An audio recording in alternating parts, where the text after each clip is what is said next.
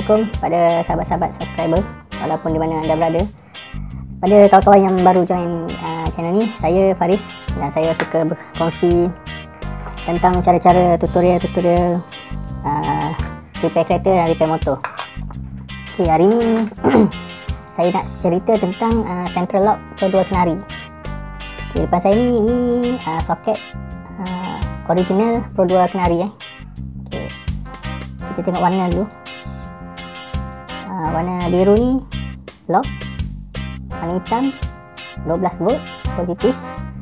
Uh, biru biru, biru belang putih. Uh, unlock.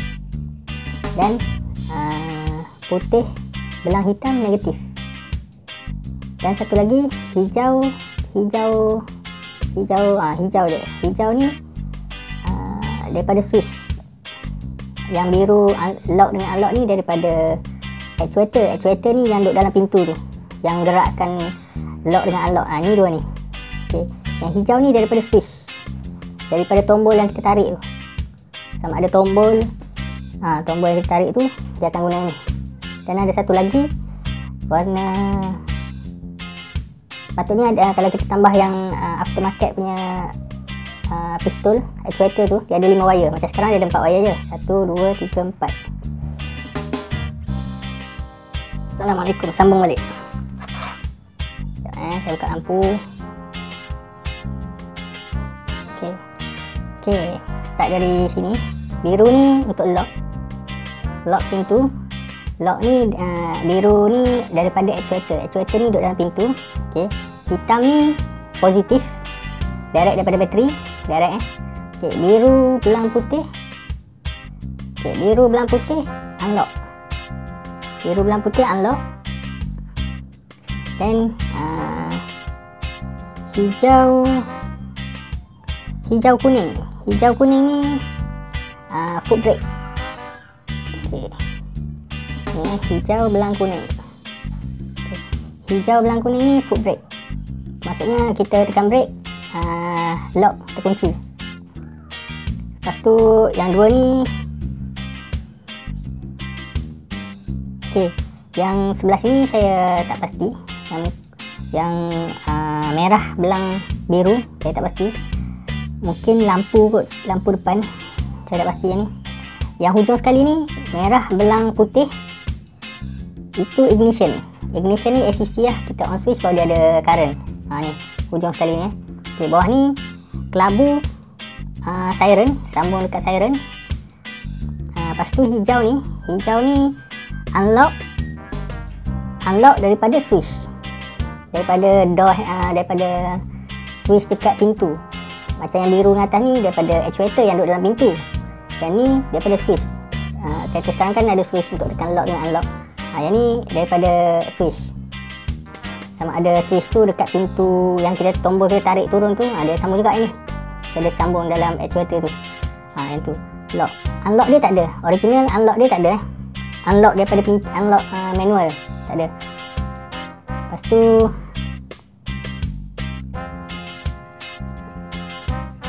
biru putih. Biru putih. Oh yang ni saya tak pasti apa. Yang putih belang hitam ni negatif ni negatif. Lepas tu ha, merah belang hitam dengan merah saya tak pasti apa. Yang ni saya tak pasti. Tiga saya tak pasti. Satu dua dengan tiga atas ni. Ha, yang tu kalau saya dah cuba cari dalam internet dalam youtube semua tak jumpa. Kalau ada kawan-kawan yang tahu ha, boleh share atau komen. Ok untuk video kali ni saya nak fokuskan pada lock. Central lock dia memerlukan uh, uh, dekat sini eh dekat original wire ni dia perlukan biru lock biru belang putih unlock. Hijau. Uh, hijau ni lock daripada pintu lock daripada manual. Daripada tombol pintu tu. Okay, ni positif dan putih. Hitam ni negatif. Okay, yang paling uh, dalam elektronik ni yang paling utama ialah ini. Positif dan negatif. Uh, kita sambung yang ni dulu. Yang lain tu kita cari lah. Yang ni paling penting. Dan masa kita nak sambung pun yang ni jangan bertukar. Sebab yang ni dia direct takut nanti ada short ke apa. Ha, yang ni positif kan ok untuk kereta kenari saya dia menggunakan uh, ni uh, central lock module. Ni untuk central lock saja. Dia ada dia ada 8 wayar. Okey. Dia digabungkan dengan alam. Okey ni alam eh. Alam ni ada 2 4 6 10 alam ni ada 10 wayar. Okey. Saya bukan nak cerita pasal alam ni. Saya nak cerita pasal ni. Tapi ni just untuk bagi idea je. Okey. Untuk untuk hidupkan alam ni dia ada wayar dua. Macam saya kata macam saya cerita tadi yang ni. Dia perlukan dua lah untuk hidupkan ni. Positif merah. Negatif hitam. Ha, dua ni. Bila kita ha, sambung dua ni alam ni hidup lah. Dan dia adalah aksesori-aksesori lain untuk hidup mungkin dia ada switch dah ni bila on kunci baru dia hidup semua macam, ha, macam tu lah. Tapi untuk hidupkan dia dia ada dua ni. Maksudnya daripada sini sini positif ke hitam. Tapi yang ni negatif ke hitam.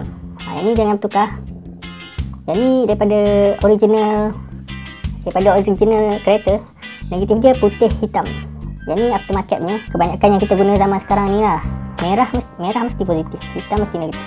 Tapi uh, dalam dunia otomotif pemotoran Pro 2 ke mana-mana hitam ni positif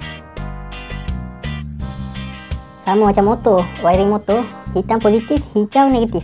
Ha, itu motor. Kalau kereta original dia uh, untuk kenari hitam positif putih hitam ni negatif. Ok tu untuk alam eh. Ok alam ni bila kita dah sambung positif dan negatif dia dah boleh guna remote lah. Remote dia ok dah boleh guna remote lah. Bila kita dah sambung. Okay, tekan-tekan dia akan bagi signal pada ni pada wayar ha, pada wayar lock. Pada wayar lock dengan unlock. Dia akan keluarkan signal dua ni.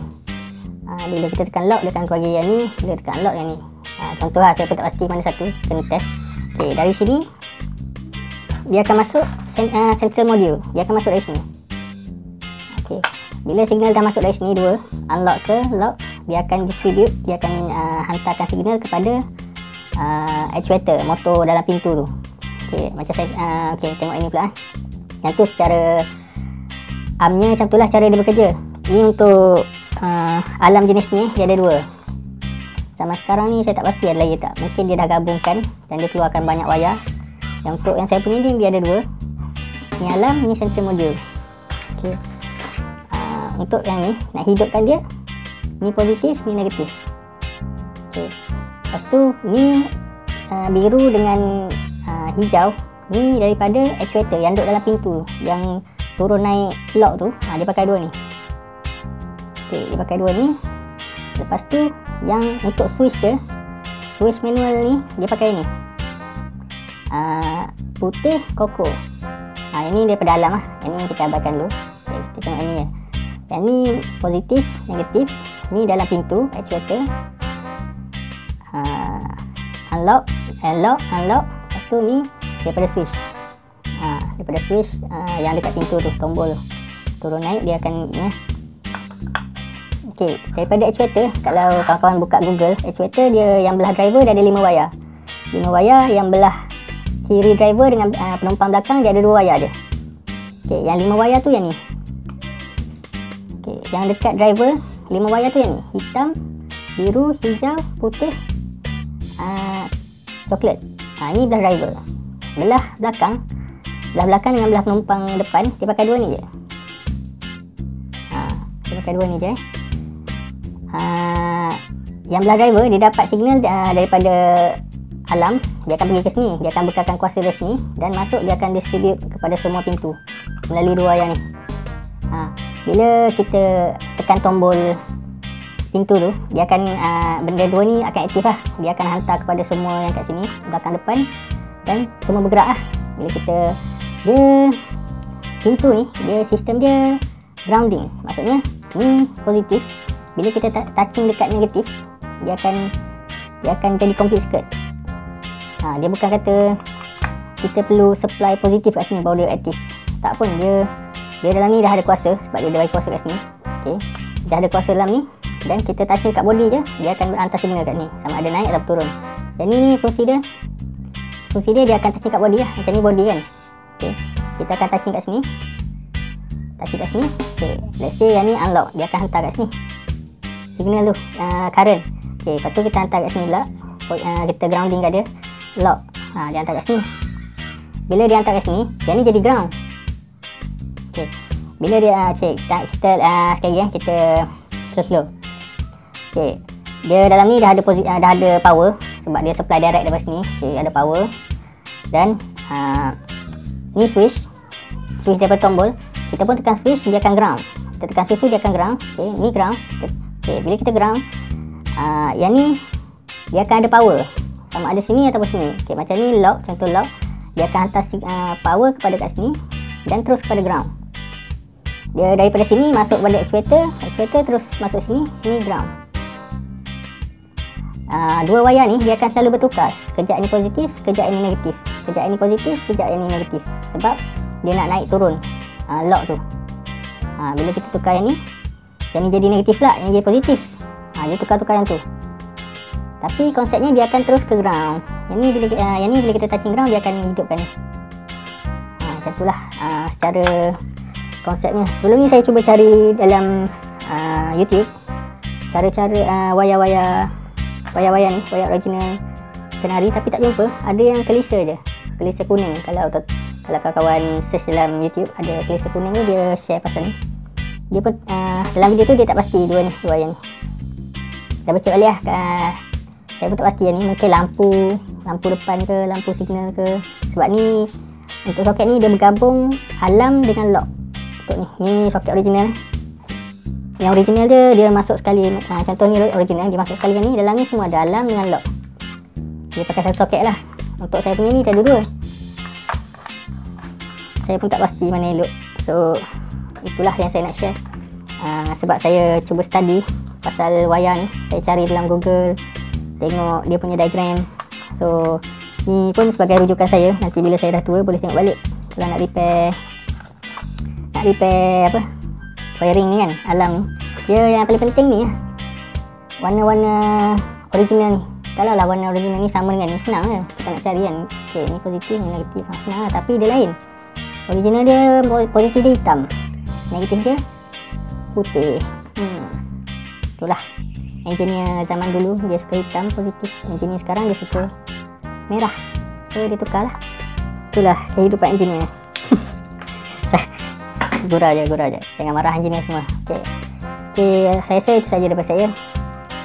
Apa-apa boleh komen di bawah. Dan jangan lupa subscribe untuk bagi saya semangat buat video-video video-video tentang kereta dan motor. Buat masa sekarang ni saya fokuskan apa yang terjadi dulu terjadi pada saya. Lepas ni saya nak fokus pada motor. Untuk siapkan uh, motor saya ni. Sehingga berjumpa lagi. Assalamualaikum